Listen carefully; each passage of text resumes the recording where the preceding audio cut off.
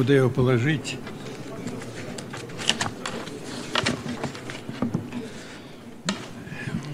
Хорошо, уважаемые коллеги. Я думаю, что нужно поблагодарить прежде всего Константина Анатольевича. Плохо слышно, мне кажется. Слышно или нет? Слишком... А, вот так, наверное, ближе. За то, что он ежегодно нас собирает, за то, что мы получаем здесь социально-экономический заряд, и при том для всех отраслей.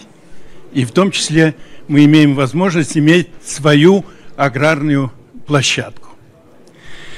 Так вот, я хотел бы остановиться на нашем аграрно-промышленном комплексе, э, сегодняшняя реальность и что, на наш взгляд, нас ожидает чуть попозже. Чуть попозже. Тут, уважаемые коллеги, современный этап развития агропромышленного комплекса, как вы знаете, характеризуется значительным преобразованием внутренних и внешних условий функционирования товаропроизводителей. Это и высокая волатильность цен на мировом агропродовольственном рынке, это и санкционное давление на российскую экономику, также глобальная трансформация в моделях торговли – которые влекут за собой нарушение цепочек производства, переработки, логистики и реализации продукции. И все эти факторы э, негативно влияют на производственную деятельность и финансово-экономическое положение наших товаропроизводителей. Вот отсюда требуется обсуждение актуальных тенденций развития сельского хозяйства и основных стратегических направлений развития агропромышленного комплекса.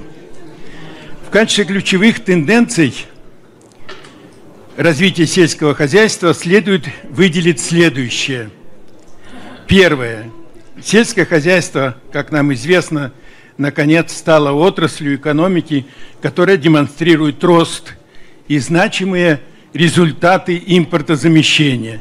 На фоне того, что за шесть последних лет – ВВП страны вырос на 10,5%, промышленное производство на 13%, производство продукции сельского хозяйства увеличилось на 16%.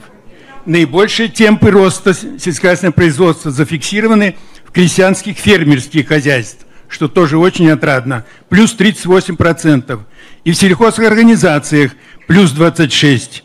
В хозяйствах населения – личных подсобных хозяйств за последние 6 лет наблюдался спад минус 13%. Вторая тенденция. Существенные изменения произошли в соотношении объемов экспортных и импортных операций. Здесь можно слайдик. А наши не переключается. Переключились. Э, второе. Существенные изменения произошли в соотношении объемов экспортных и импортных операций в части сельхозпродукции, сырья и продовольствия. В 2023 году экспорт превысил 43 миллиарда долларов, и главным образом за счет экспорта зерна. Одновременно импорт за 10 последних лет существенно сократился почти на 20% и, соответственно, сальдо между экспортом и импортом стало положительным и сейчас составляет более 8 миллиардов долларов. При этом в качестве негативной тенденции, к сожалению, необходимо ответить, что экспортируем мы, хотя сто раз об этом говорим, преимущественно сырьевые товары, а импортируем товары высокого передела – нам удалось обеспечить достижение пороговых значений доктрины продовольственной безопасности по всем основным видам продукции, за исключением молока, малопродуктов, фруктов и овощей. Вместе с тем, потребление населением ряда пищевых продуктов еще не соответствует медицинским рациональным нормам. В то же время Достигнутые аграрной сферой экономики положительные результаты оказались абсолютно недостаточными, чтобы осуществлять в необходимых объемах импортозамещения, достойно оплачивать труд селян, повышать доходность сельского хозяйства и развивать сельские территории. Третье. При сложившейся последние годы положительной динамике производства в агропромышленном комплексе усиливается тенденция неравномерности в темпах и уровне развития его отраслей и подотраслей сельских территорий. По расчетам, индекс продукции сельского хозяйства в 2023 году к базисному 90-му составил около 114%. При этом индекс производства продукции растеневодства достиг 161%, а по продукции животноводства мы до сих пор отстаем до уровня 2019 года на 22%. Это очень нас не радует. Четвертая тенденция. Одним из основных сдерживающих факторов развития отрасли является инвестиционная недостаточность. Инвестиции в отрасль демонстрируют крайне неустойчивую динамику. За последние 10 лет темпы роста индекса инвестиций в основной капитал в целом по экономике существенно опережали соответствующие показатели в сельском хозяйстве. Так, в период 14-23 годы индекс инвестиций в основной капитал в целом по экономике составил 124%, в сельском хозяйстве только 84%. То есть в отрасли произошло не наращивание инвестиций, а их сокращение. Как показали наши исследования, для увеличения объема воловой продукции на 1% необходим прирост инвестиций в основной капитал минимум 2%. В условиях низкой инвестиционной активности нам не удается выйти на необходимые темпы технико-технологического обновления, что является э, основной причиной отставания нашей отрасли от лучших мировых показателей. Одновременно сохраняется чрезмерно высокая зависимость отечественного ПК от зарубежной техники и технологий. В настоящее время доля импортной техники у нас составляет более 68%. В молочном животноводстве доля импортного оборудования доходит до 80%. В оборудовании для убоя скота и птицы 90%. В оборудовании, используемой пищевой промышленности, тоже 90%. Кроме значительной доли импортной техники и технологий, особую озабоченность вызывает и то, что сельское хозяйство обеспечено отечественными семенами сахарной свеклы только на 2% картофеля на 9, подсолнечника на 30%, кукурузы на 60%, генетическим материалом в животноводстве на 20%. Это ужасные цифры. Слава Богу. Да. Пятое. Недостаточными остаются темпы развития инфраструктурной базы АПК в сфере рынка, в сфере производственной, информационной и научного обеспечения. Не раскрываю эту тенденцию. Шестое. Продолжается процесс ухудшения состояния сельскохозяйственных земель. Внесение удобрений существенно отстает от выноса питательных веществ из почвы с урожаем, что ведет к ее деградации.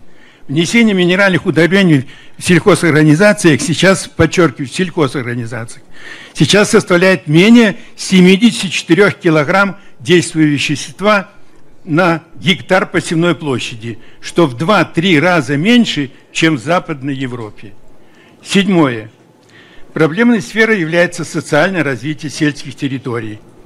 На селе концентрируется безработица и сельская бедность. Несмотря на небольшой рост оплаты труда в сельском хозяйстве последние годы, она все равно у нас на сегодня составляет только 65% от среднего уровня по экономике. А мы все время гордимся своими достижениями.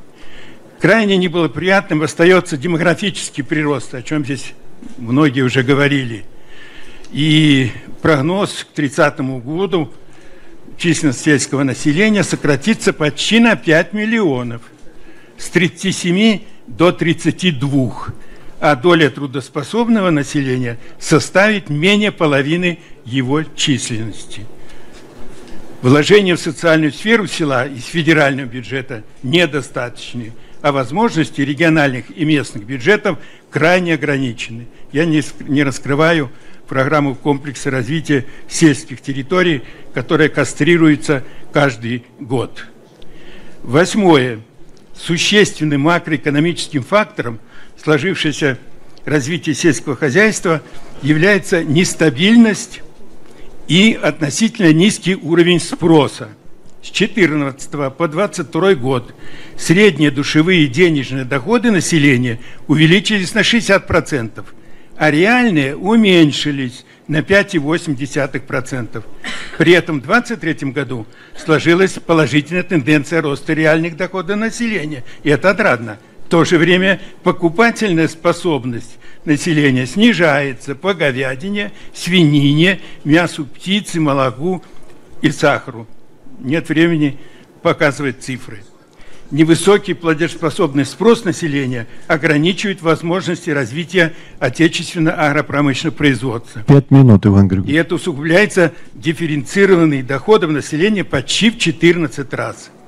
В послании президента Федеральному собранию четко поставлена задача увеличения агропромышленного производства к 30 четверть по сравнению с 21 и роста экспорта в полтора раза – в целях реализации этих задач целесообразно учитывать складывающие тенденции, которые мы перечислили, и вызовы. Таким образом, исходя из негативных мировых трендов, а также сложившихся тенденций, следует обратить внимание на следующие три направления. Во-первых, обеспечение технико-технологического суверенитета. Во-вторых, достижение продовольственной независимости. И в-третьих, преодоление разрыва между уровнем жизни городских и сельского населения и создания условий для комфортной жизни на селе. Однако э, в качестве задач, которые обеспечивают достижение этих целей, мы предусматриваем и стимулирование инновационной и инвестиционной активности. На слайде мы это показываем. Однако мне хотелось бы, мне хотелось бы остановиться в заключении на двух основных направлениях на сегодняшний день, на наш взгляд. Первое – это развитие сельских территорий. Сейчас стоит задача развивать сельскую местность как единый территориальный комплекс, выполняющий важные общественно значимые функции. Село по-прежнему, значит, э, село значительно дистанцируется от города – и при том э, по обустроенности, развитию инфраструктуры, занятости и так далее.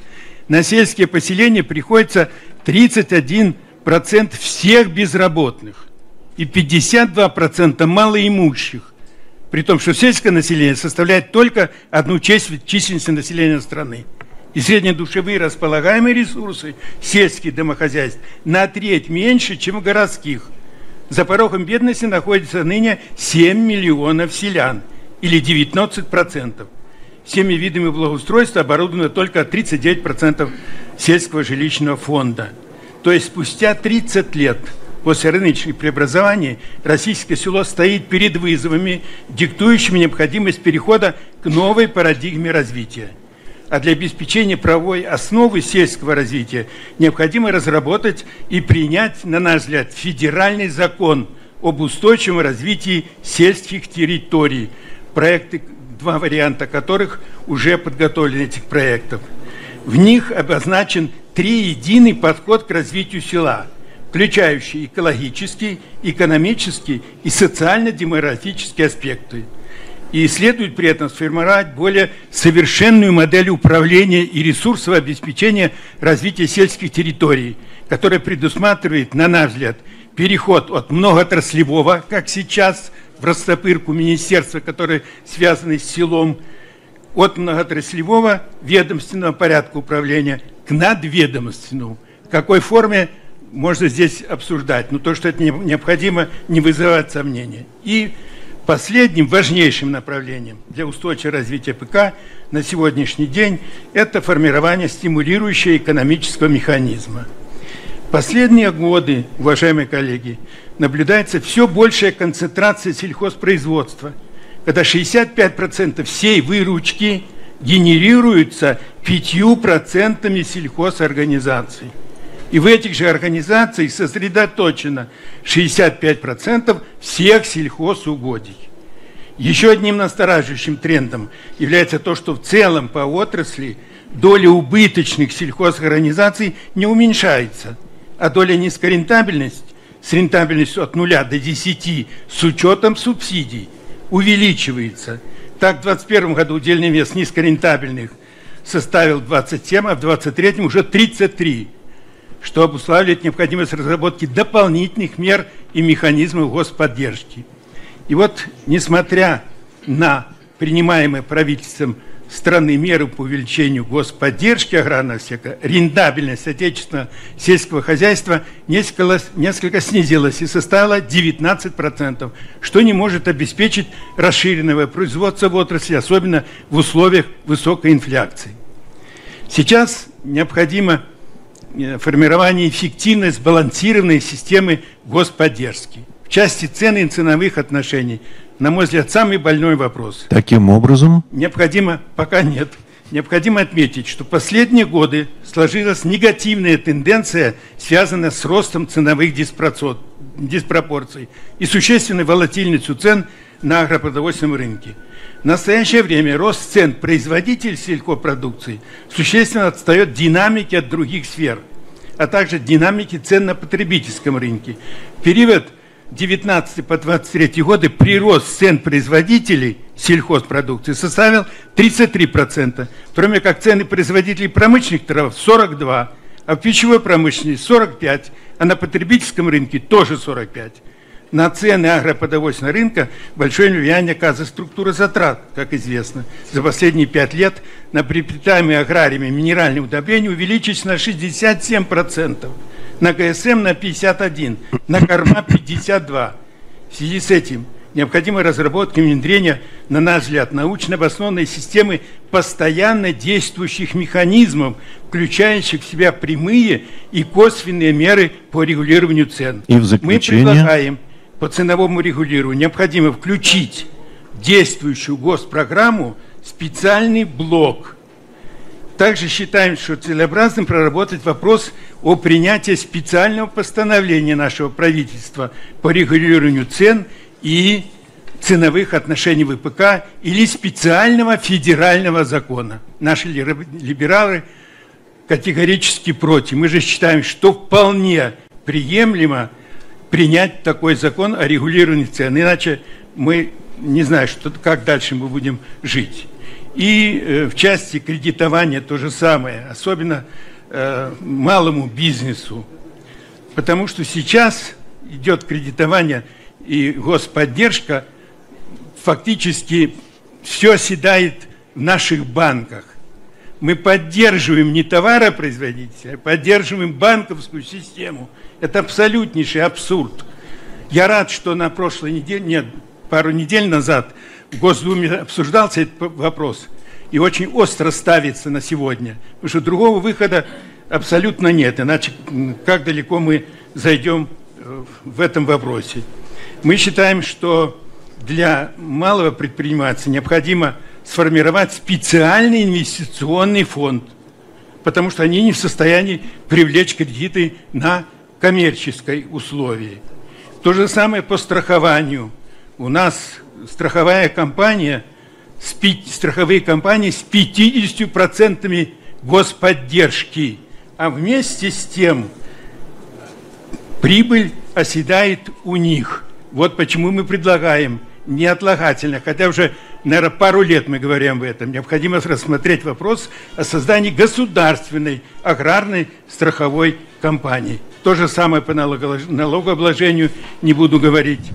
Э, есть очень серьезное э, предложение, и в частности для поддержки малого и среднего предпринимательства мы предлагаем объявить налоговые каникулы, хотя бы как минимум на три года, ввести нулевую ставку по акцизам на продажу топлива для сельхозтоваропроизводителей. Не случайно бастуют фермеры на Западе. И совсем таким образом, дорогой Игорь Борисович. Спасибо. В целях оценки перспектив да. развития отечественного Э, э, отечественного АПК, мы подготовили оптимистические и базовые прогнозы производства основных видов сельхозпродукции как до 1935 года. Как ровно на оптимистический и базовый пессимистический вариант. К огромному сожалению, э, наши, наша методика говорит нам о том, что страна наша по агропромышленному комплексу больше пойдет по базовому, то есть по пессимистическому варианту, а не по оптимистическому. Поэтому, на наш взгляд, реализуемая государственная аграрная политика сегодня не является целостной, что обусловлено значительным количеством программ, концепций, стратегий и так далее. Единственный документ, который мы имели в 2010 году, основные направления аграрной политики, а сейчас ничего нет. Все разбросано по стратегиям, программам и так далее. Поэтому мы предлагаем провести существенную корректировку нынешнего закона о развитии сельского хозяйства, а еще лучше, на наш взгляд, это крайне необходимо, принять новый закон о развитии всего агропромышленного комплекса. И также целесообразно разработать стратегию развития ПК на сегодня уже до 1935 года. Спасибо. спасибо большое за внимание. Спасибо большое, Иван Григорьевич. Спасибо. Очень обстоятельно, и я даже не решился вас категорически прерывать. Спасибо. Спасибо вам большое. А, к нам присоединился Роберт Исканденович Нигматулин. Пожалуйста. Академик, академик РАН, директор Института океан, океанологии. Президентом России. Какой бы указ самый главный, что для сельского хозяйства вы бы сделали? Один-два пункта. Ну, первый пункт, от которого, мне кажется, все зависит – это укрепление материально-технической базы. На этой основе рост доходности. Если будет доходность, а это уже другой вопрос.